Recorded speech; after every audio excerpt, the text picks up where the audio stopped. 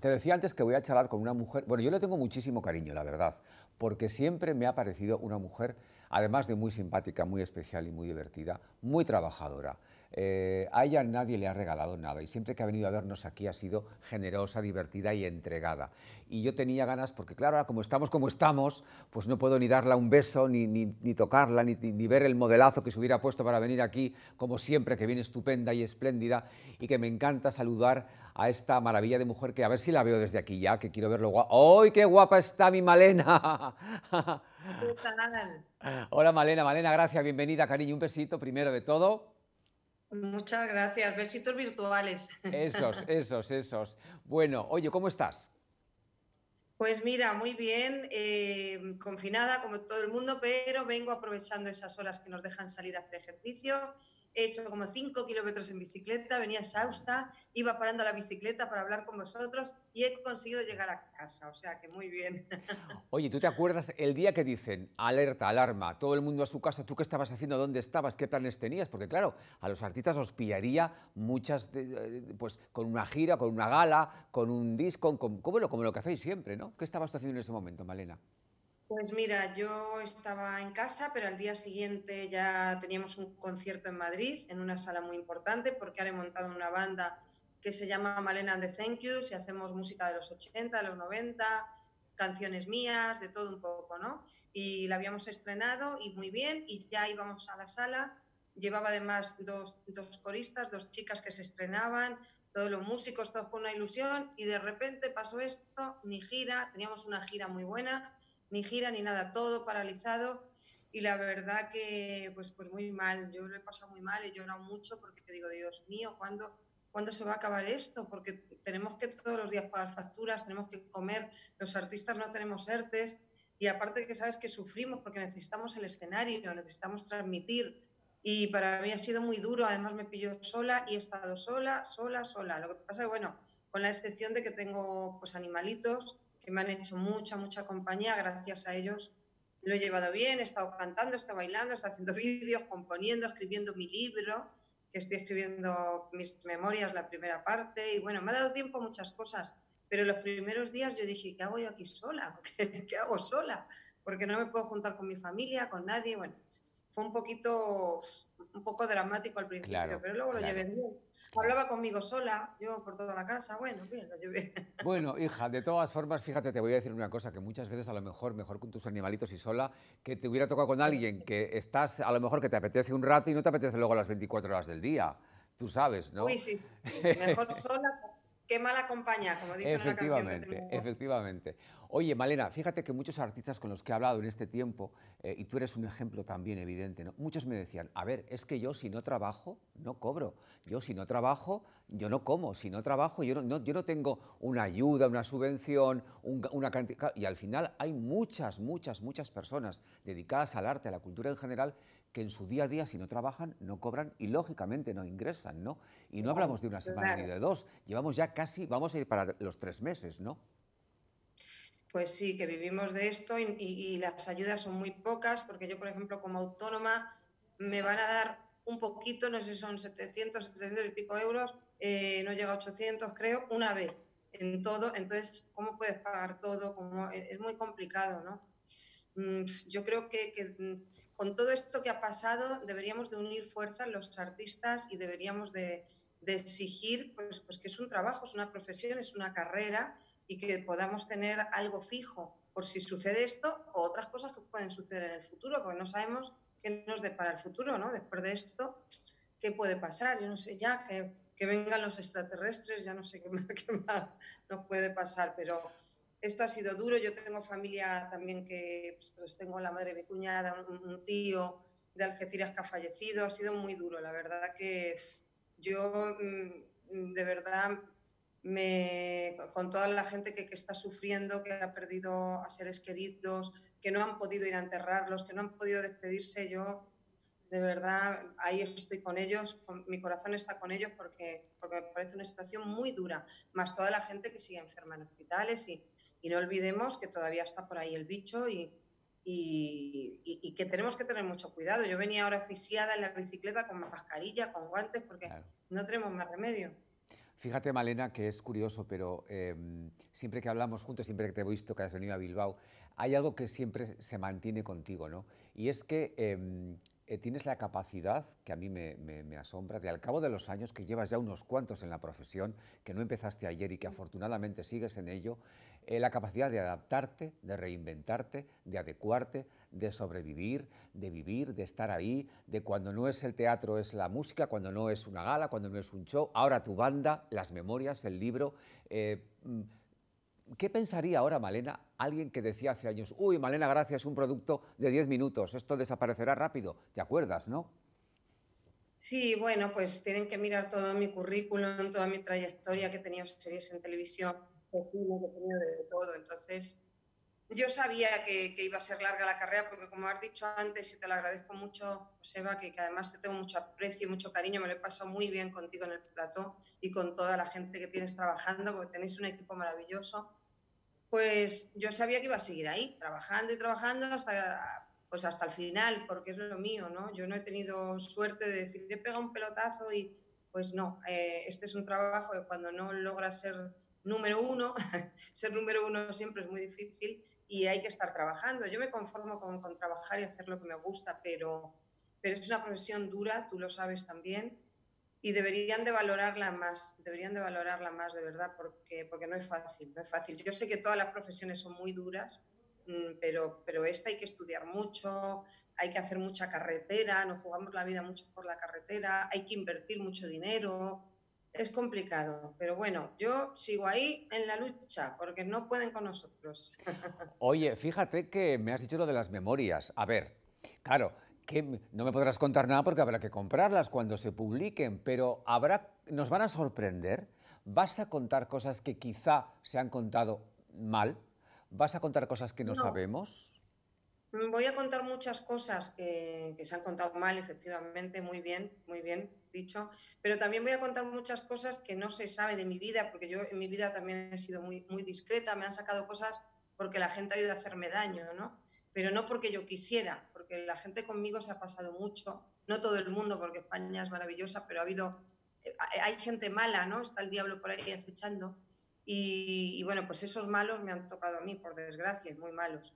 Y voy a contar muchas cosas, sí, que, pues, que no he contado, por, por bueno, porque porque yo soy una persona muy buena, tú lo sabes, muy bondadosa, pero ya, ya va siendo hora de que se sepa la verdad. Entonces voy a contar toda la verdad y luego mis amores secretos que he tenido, que tuve uno muy, muy importante de, bueno, he tenido varios muy importantes que nadie ha sabido, se van a saber aquí, mm, no daré los nombres completos por respeto a ellos, pero yo tengo una historia de película, de hecho me gustaría que mis memorias algún día fueran una película, porque mi vida ha sido una película realmente.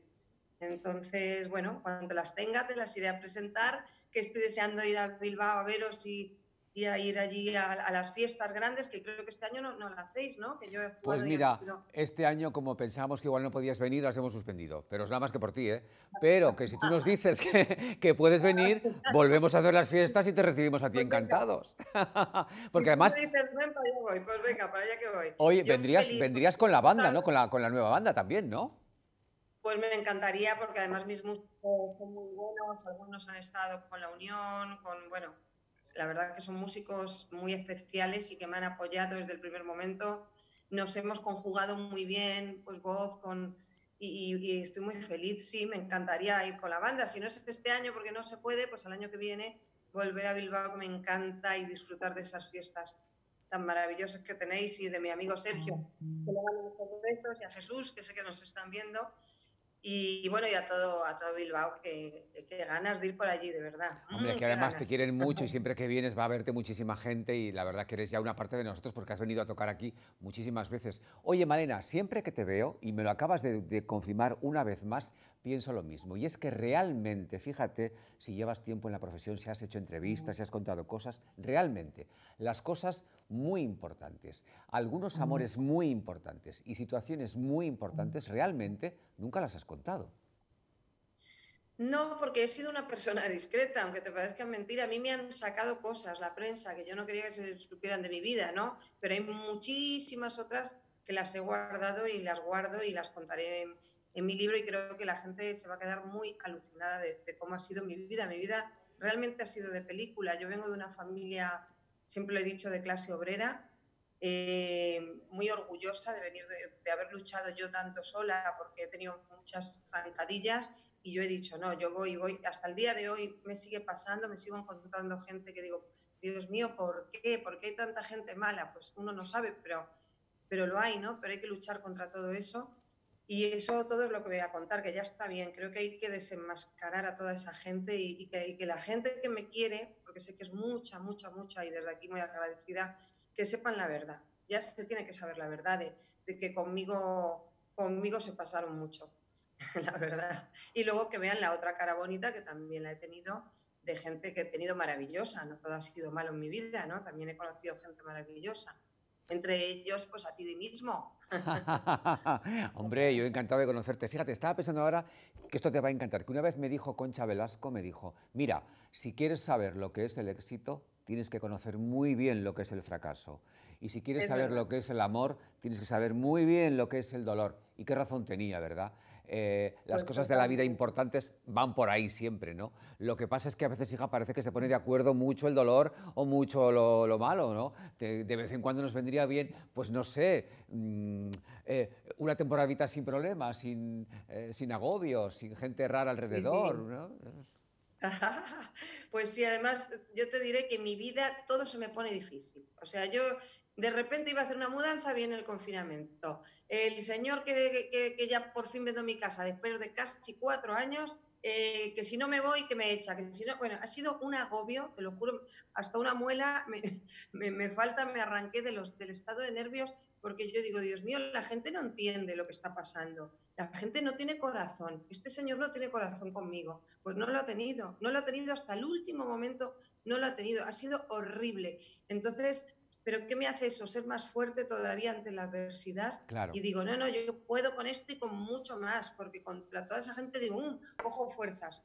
Pero, pero increíble que, que, que, que, con todo lo que está pasando, de verdad, yo quisiera que la gente fuéramos más buenos, no más malos. Y, y hay gente que se vuelve más mala, más egoísta, más acaparadora. Entonces ha sido, ha sido duro y a mí se me ponen siempre las cosas difíciles. O sea, si una persona va una vez, a mí me toca ir 50.000 veces pelearme en el camino, no sé qué. Entonces yo digo, Dios mío, por una vez pónmelo un poquito fácil, por favor. ¿Verdad? Bueno, hija, pero bueno, algún día me lo pondrá, no sé cuándo, pero algún Estate segura, estate segura, estate segura. Oye, como yo sé que tú eres muy divertida, por favor, cuéntame esto de cómo se arranca Malena Gracia una muela. Hoy, hoy, hoy, pues porque de los nervios, del ataque de nervios que tenía tipo Almodóvar, pues este señor no paraba de llamar, de, decirme cosas, encima lo tenía ahí, ahí enfrente de mi casa, y, yo pues claro que tengo bruxismo, pues venga, venga, venga, hasta que ya me ha empezado a doler la boca, la muela, llamé al dentista y digo, me duele muchísimo, se me empezó y me dijo, es que te has roto toda la muela que ha pasado, digo, el ataque de nervios que tengo. Entonces, bueno, mi pobre muela ha sido la que lo ha sufrido. Por fin ya ese señor me ha dejado en paz, pero uff, qué lucha. Ha sido una lucha de titanes, de sí, de no, horrible, pero bueno, sigo aquí porque no pueden conmigo. Tengo cada vez más fuerza y me va la marcha ¿eh? Lo que estoy, es verdad que ahora en estos momentos sí que echo de menos, que tenía pareja y lo echo de menos, se ha portado muy mal también. Es que todo ha sido un año extrañísimo. Hasta una persona con la que llevaba años, de repente se ha ido con otra persona. Eh, bueno, han pasado muchas cosas, ¿no? Que te digo esto porque es verdad lo que dice Concha Velasco. El gran actor es el que sufre, el que llora, el que tiene decepciones. A mí me ha pasado todo eso, pero, pero me hace más fuerte y me ayuda más a interpretar mis personajes, mi música, porque siento todo mucho más. Yo creo que a lo mejor me ha tenido que pasar todo eso para que ahora ya me venga todo lo bueno, un hombre maravilloso y ya todo, todo lo bueno. Y si no, pues para seguir interpretando y haciendo feliz a la gente, que es lo que nos gusta a los artistas. Fíjate, Malena, que que es curioso, ¿verdad? Pero ¿cuánta gente puede verte en un escenario que tú siempre irradias alegría, felicidad, siempre divina vestida, estupenda, con tus colores, con tus brillos, con tus cosas, siempre sonriente, con buen humor? Y muchas veces es verdad, ¿no? Que cuando se apaga la luz una tiene una vida y tiene unas cosas y tiene sus, como todo el mundo, ¿no? Lo que pasa es que el escenario es solamente para, para pasarlo bien y para transmitir buen rollo y buena energía, ¿no? Eh, poca gente puede imaginar muchas veces que también las artistas como tú, que os ven divinas de la muerte siempre y sin un nada, eh, oye, cuando llegáis a casa también tenéis vuestras cosas. Pero eso seguramente, Malena, importa menos, ¿no? Vende menos. Sí, sí, pero también tenemos nuestra soledad, lloramos, desamor, problemas, eh, tenemos todo eso, ¿no? Pero, pero debemos de transmitir lo que tú has dicho. El buen artista es el que tiene que transformarse cuando llega al escenario, mm, cambiar totalmente. Yo creo que el público, mm, le debemos eso al público, le debemos porque ya bastante tiene la vida, entonces tienen que vernos siempre muy bien, felices y contentos y, y fuera problemas. Cuando subimos a un escenario, tenemos que centrarnos en lo que estamos haciendo. Oye, ¿y de verdad, de verdad, de verdad, a ti te gustaría encontrar un hombre para toda la vida, Malena? Me encantaría, pero no lo he conseguido. ¿Dónde está? qué difícil. sí, y te gustaría, te gustaría tener una, persona a tu lado para siempre, sí. Me encantaría. Yo soy de familia, de, pareja, me encantaría. Es toda mi vida lo, he anhelado, ¿eh? te lo confieso ahora mismo toda mi vida he anhelado eso, lo he buscado, pero es que ya he dicho, no busco más. Miren, ya el destino, que me traiga lo que quiera, si tiene que aparecer esa persona maravillosa y si no, pues yo seguiré con mis animalitos y dándoles amor y a, mi gente y a mis amigos. Pero, pero yo creo que al final aparecerá esa media naranja, a lo mejor está por Bilbao, nunca se sabe. Bueno, hija, te voy a decir una cosa, que si vienes y lo encuentras me dices dónde. Qué difícil, ¿verdad? Qué difícil. Hoy... está muy complicado.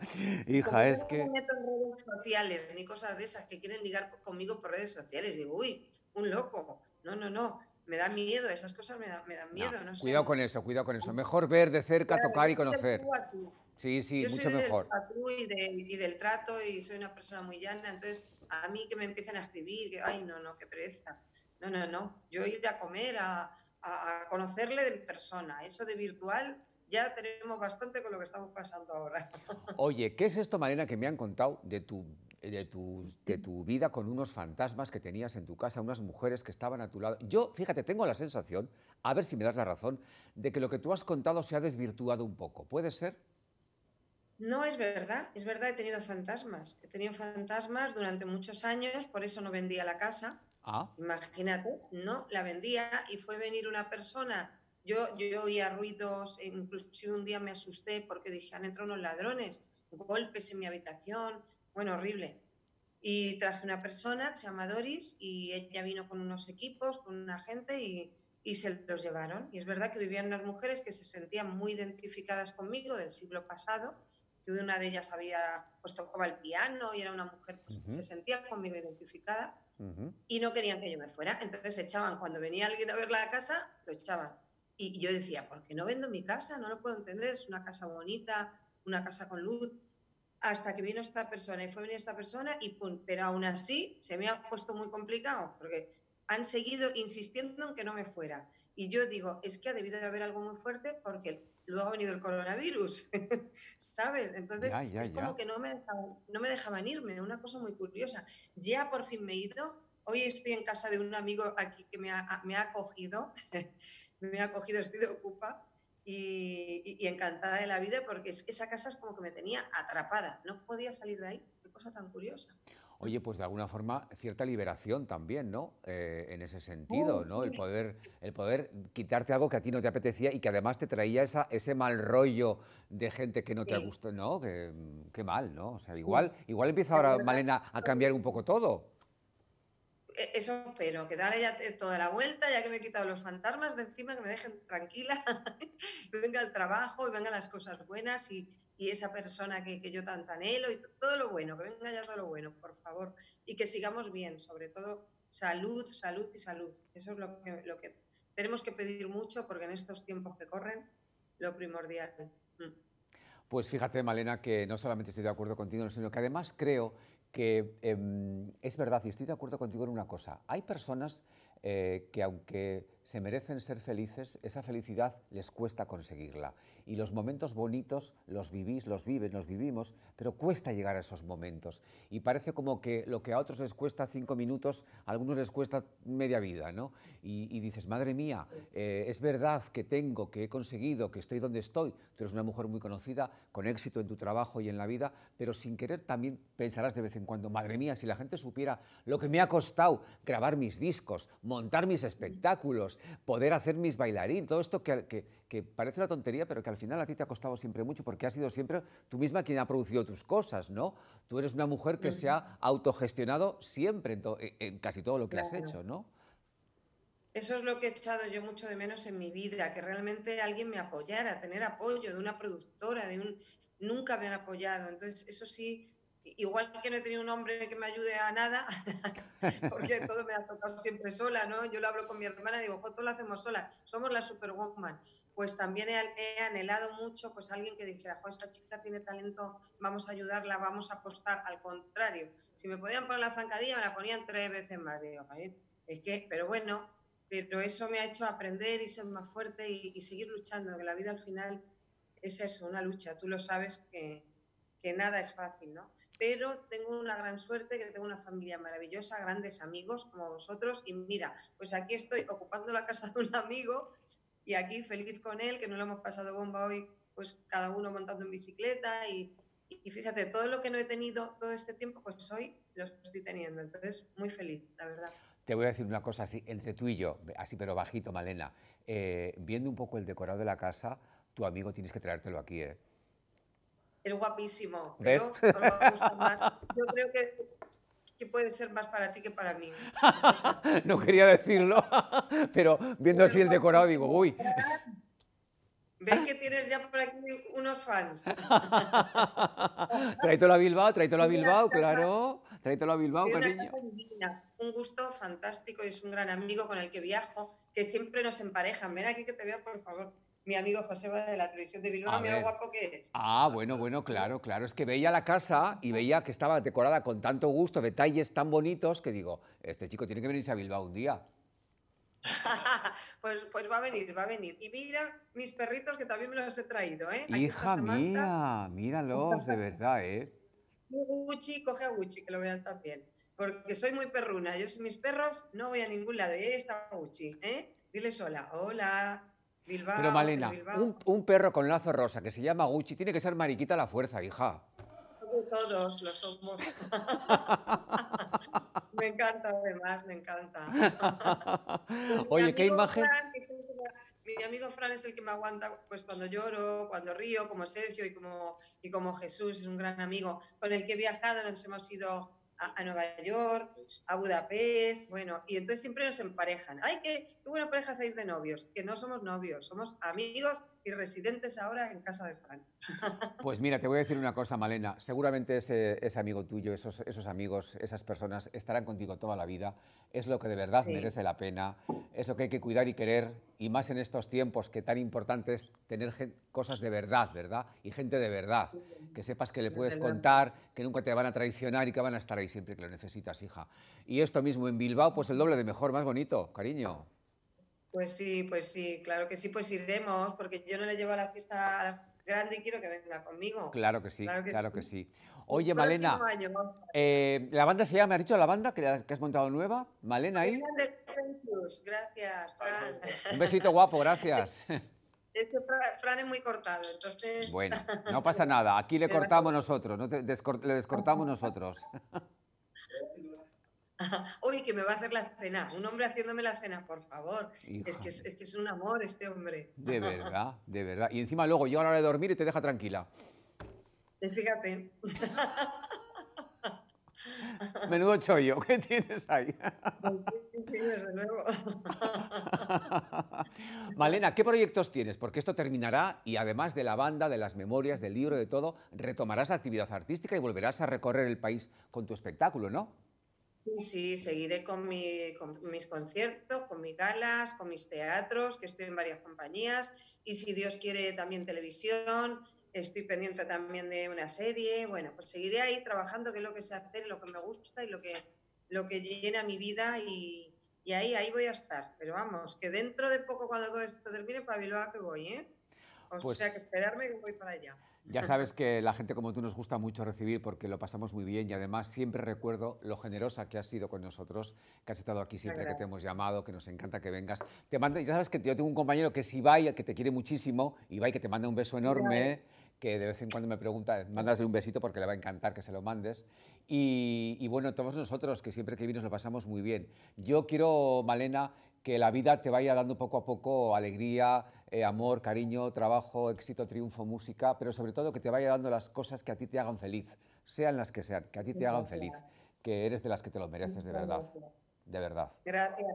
Tú también te mereces todo porque eres, siempre estás ahí al pie del cañón y eso es muy importante. Y ahora en estos tiempos que corren necesitamos gente como tú que esté ahí. O sea que a todos, a todo el equipo, a, a mi amigo este que has dicho, yo también le mando mil besos. Muchísimas gracias por ser tan humanos y por querernos tanto a los artistas. De verdad, gracias de corazón. Aquí te esperamos. Un beso fuerte, cuídate mucho y hasta prontito, Malena, de verdad.